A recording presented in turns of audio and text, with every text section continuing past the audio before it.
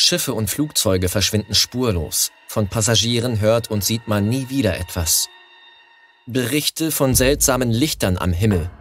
Nein, das sind keine Szenen aus einem neuen Hollywood-Blockbuster, sondern Begebenheiten, von denen seit über einem Jahrhundert aus einer Region mit dem unheimlichen Spitznamen Friedhof des Ontariosees berichtet wird. Weitere Namen sind Kanadas Bermuda-Dreieck oder Marysburg Vortex. Der Bereich erstreckt sich über einen Teil des Ontariosees zwischen Kingston, Prince Edward County in Kanada und Oswego, New York in den USA. Die Geschichten über diese Region lassen dich genauso frösteln wie das eisige Seewasser. Die am meisten verstörende Geschichte handelt von einem Segelschoner namens Bavaria, im Jahr 1889 wurde das Schiff über den See geschleppt. Aufgrund des Seegangs riss das Seil und die Bavaria trieb davon. Zum Glück wurde der Schoner später unversehrt gefunden.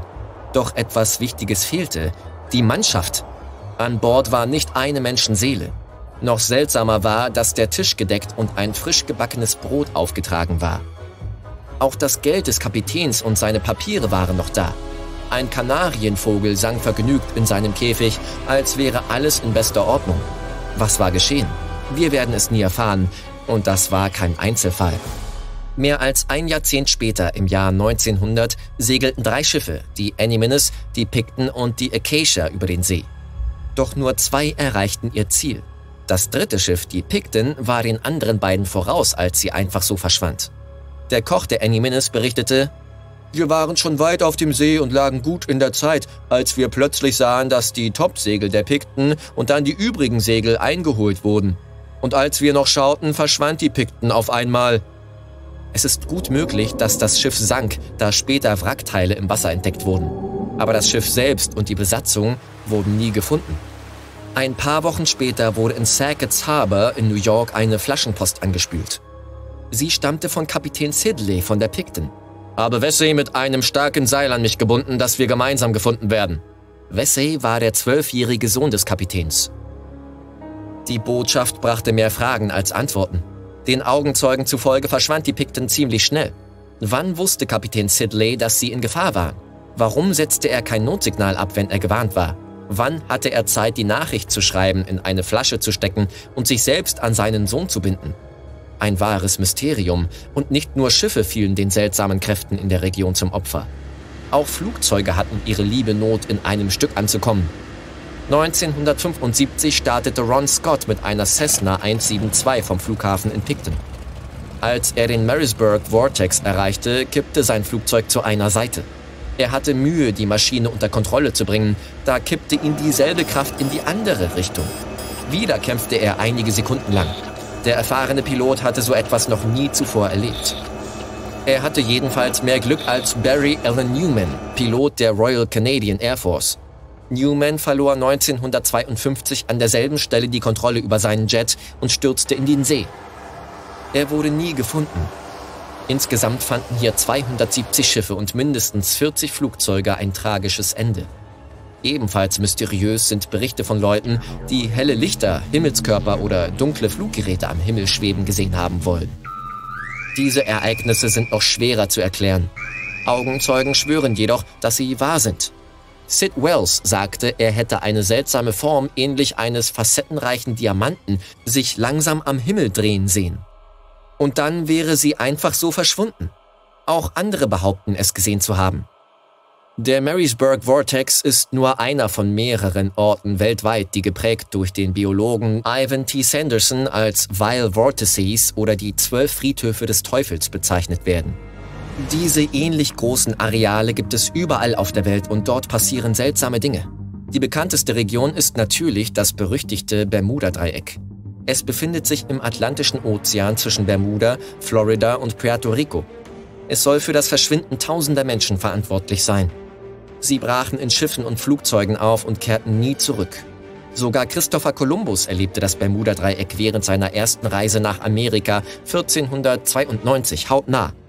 Er berichtete, dass die Kompasse in die falsche Richtung zeigten, der Meeresspiegel dramatisch zu steigen schien und seltsame Lichter am Himmel zu sehen waren. 1918 verschwand dort eines der größten Tankschiffe der US Navy, die USS Cyclops. Da die 309 starke Besatzung als auf See verschollen eingestuft wurde, stellt dieser Vorfall den größten Verlust auf einen Schlag in der Geschichte der US Navy dar. Dabei war das Wetter gut gewesen. Die eine Nachricht vom Schiff, die an diesem Tag empfangen wurde, meldete keinerlei Probleme. Es wurde auch nie ein Notsignal abgesetzt. Der Vorfall wurde eingehend untersucht. Die Schlussfolgerung?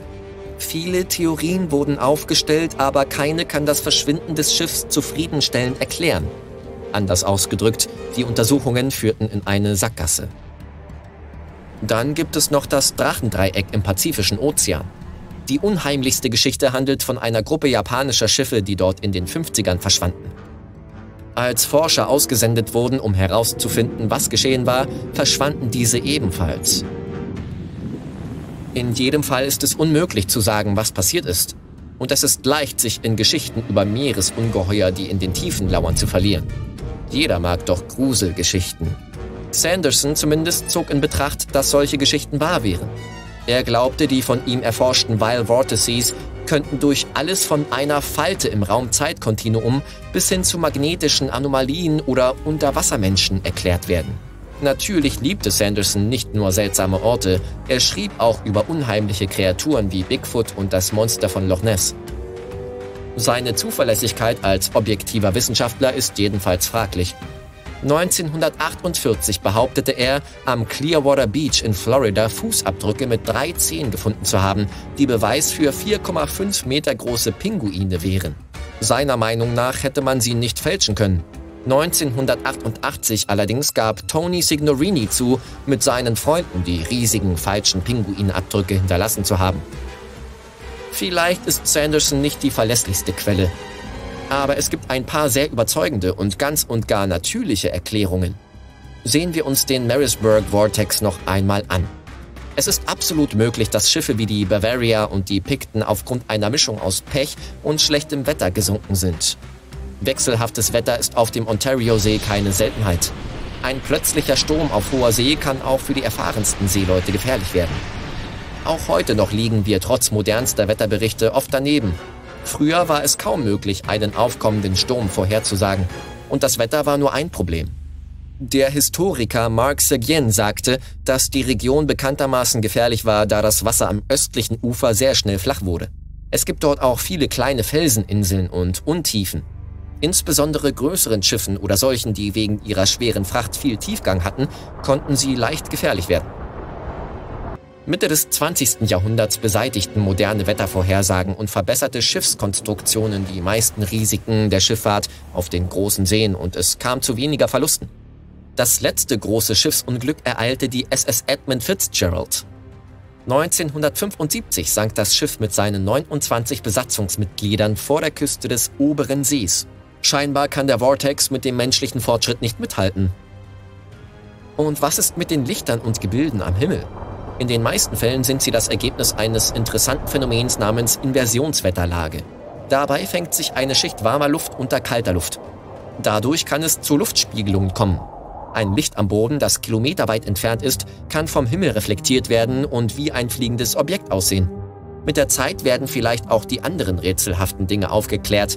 Das Süßwasser in den Seen und die kalten Wassertemperaturen konservieren die dort liegenden Schiffe und Flugzeuge. Wenn die Region weiterhin von Tauchern und Forschern untersucht wird, werden sie vielleicht irgendwann auch die Bavaria, die Picton, Kapitän Sidley und seinen Sohn finden.